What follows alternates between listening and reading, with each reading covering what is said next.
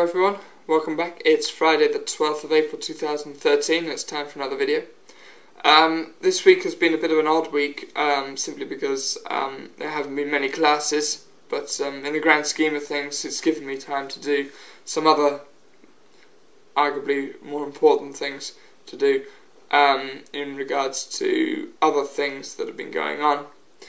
So, I mean, um, we look at this week, um, a lot of classes had been cancelled for a majority of reasons. Um, list is endless, you know, teacher absences, back blank and everything. So that that sort of kicked in and everything, but uh, not to worry, not a big sort of drama. But um, yeah, like I said, it's been fun.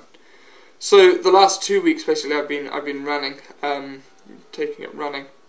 Running has been an interesting sort of thing for me, and uh, I believe every weekday, other than I, think it was yesterday and today, I've been running for the last two weeks. But um, feeling a little bit of pain right now in my lower in my lower legs, shin splints going on, um, which are quite painful at the minute. So I mean, I'm not going to be running today either. Um, try and hopefully rest them and make sure they're okay. Um, and also I've been using ISO files and um, using Rosetta Stone to be uh, looking at Portuguese. Portuguese is a very interesting language and for those of you that already speak it, um, congratulations. It's a very nice language, actually. Um, I'm unfortunately learning the Portuguese, uh, the Brazilian um, version, so differentiates as much Brazilian Portuguese to European Portuguese as much as the Spanish is difference between um, Latin America and um, Spain itself, or indeed Australian English to British English, I believe is a better sort of term way of putting it. And you can see some of the panic on the faces of the students there as the exams are closing in. A lot of the terminal lot are getting ready for the exams as they will have those almost immediately after they come back from the holidays. Um, as you can tell, I'm in a short sleeve shirt, so we have holidays now for two weeks, and um, we'll see where that's going from there. Um, I um, yeah, I've been looking at um, different things with students this week. Um, for example, we looked at holidays, but then we also looked at articles and determiners using a, an, and the, but also at the same time looking at holidays. You know, I'd like to, and I will go on holiday, um, and talking about their ideal holidays, which was very interesting as it got a lot of students talking. A lot of the Premier Terminal students, again, we looked at language and society. Should languages, uh, should regional languages be saved, such as those of Welsh and Provençal and try to make a link to those of the most spoken languages in the world, such as Mandarin, English, and Spanish, you know, um, as well as um, some other ones, and trying to encourage them to not only maybe learn English or Spanish or Italian, German or Russian, the languages that are offered by the school, but also to um, find an interest if they're culturally interested in a country, then to learn the language of that country. For example, a lot of students in the classes are interested in um, manga and Japanese animation. So um, I said to them, as a cultural aspect, why not look at learning Japanese or teaching yourself? It's um, quite a difficult thing to do, but it's always worth a shot. So um, there was those sorts of things that we looked at, um, and that was very interesting. Um, and I, I, was very pleased with the with the outcome of a lot of students. But um, yeah, last week we were in Marseille, as you saw, the weather was very good um, for the for the second half of it, and um, we we had a good time. So that's that's pretty much you know what happened. There was a fake model zoo set up. There has been for now two three weeks. So we went and checked that out yesterday. That was uh, last week's so week. I'm sorry, and um, I got down here last night to um, to uh, to Marseille for for the holidays. There's a Zone ABC um, in the um, in France, the way they split them in terms of regions and academies.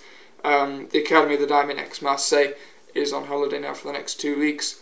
Zone, which is Zone B. Zone A will go on holiday um, next week for two weeks, and the other schools in Zone C will have two weeks left of teaching and then be on holiday for two weeks.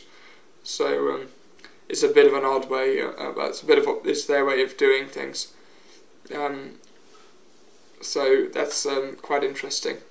So for those of you that um, are on holiday, I hope you um, have a good time. So next week um, we're going to Croatia, um, Monday, Friday. We have a little phrase book here Harrap's phrasebook are, phrasebooks are very good.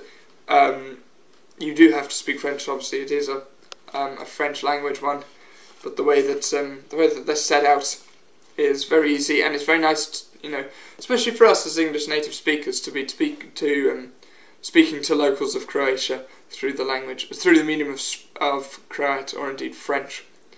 Um, so we'll be in Zadar from Monday to Friday on the Dalmatian coast north of Split, between Split and Osijek, for those of you that um, are any good with Croatian geography.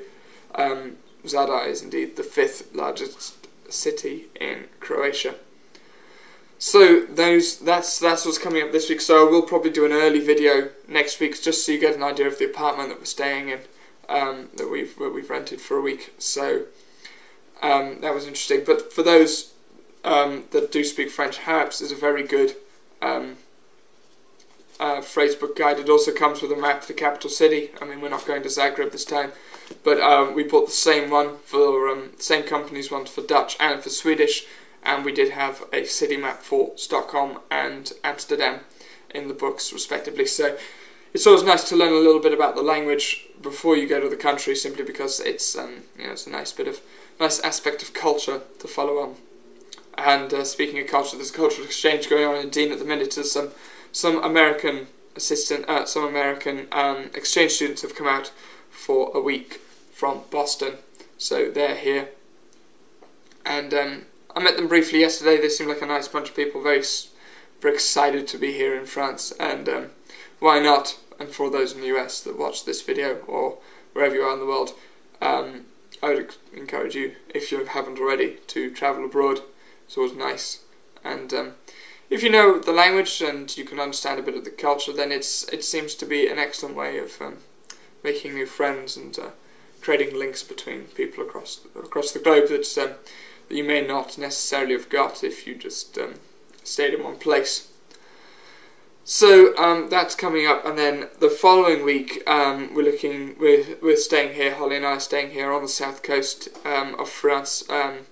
we're going from Marseille to Toulon and then from Toulon to Fréjus and Saint Raphael via um, Saint Tropez for a bit, um, and then from there we'll go on to Nice,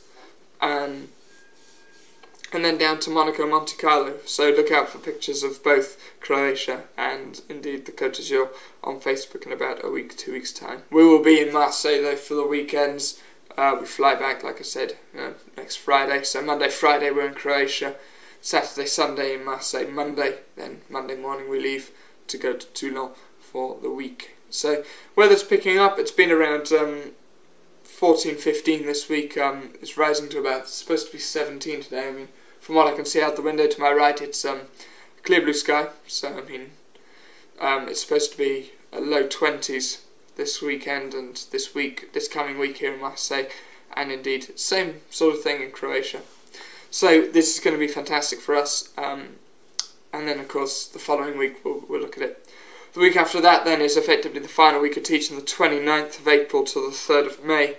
Contract officially expires on the 1st of May, but I said that I'd finish the week because that was felt like the best thing to do. Um, gives me a chance to say goodbye to some of the classes, if not all of them, and to indeed many of the students, um, as well as final preparations on my part for the English exam for the um, for the students in Terminal, which is the equivalent of upper sixth or twelfth grade, depending if you're in the UK or the USA, effectively the final year before university. So that's that's what's been going on. That's what is to be going on. Um, and for all of those that are wishing for a catch up back in the United Kingdom, I will be flying home roughly around the 24th um, of May. So in a little over a month's time. It's gone by quick, and we will have a video back in the UK, back in uh, back in Monmouthshire, but then also we will have um, a sort of extended video on um, hit um, on what I thought of Digne and what I thought of Provence, but then also at the same time um, any useful hints and tips for those that are going on a year abroad or indeed looking at living and working abroad. But um, that's all to come this weekend, like I said, we're just going to relax, just going to get ready before we go to Croatia. on Monday. But um, either way, if you've been working, I hope you've had a good week. If you've been in school, I hope it was productive, and all those in what is effectively um, year 13, or any of those that are taking exams, I hope, um, I hope you know, hope preparation's going well for the exams. Um, for all those on holiday, I suppose it's nice for some, but um, wherever you are, wherever you are, and whatever you've done, um, I hope you've had a, a great week. Um, have a great weekend, everyone, and uh, we'll see you next week for a slightly early video on Thursday, but we'll still be published around the same time on the Friday afternoon. Um, thank you very much for watching. Um, we'll see you in Croatia next week. Thanks very much, and uh, goodbye for now. Thank